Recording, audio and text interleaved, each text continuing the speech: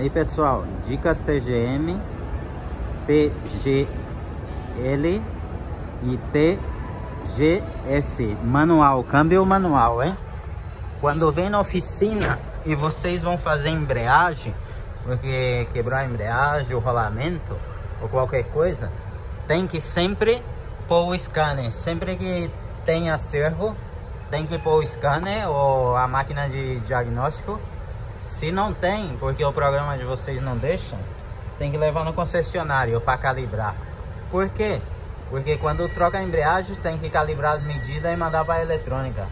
Se não faz isso, é, a eletrônica não, não reconhece a troca da embreagem e pode ir muito dura a alavanca. E você pensa que é um, uma bomba de, de embreagem ou você pensa que é o servo e não é, pessoal. É calibrar, beleza?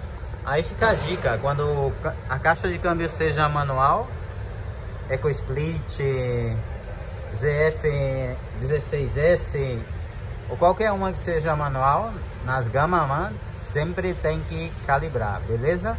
Fica uma dica aí para vocês. Quando fazer embreagem na oficina, avisar para o cliente, ou leva no concessionário ou tal. Beleza? Um abraço.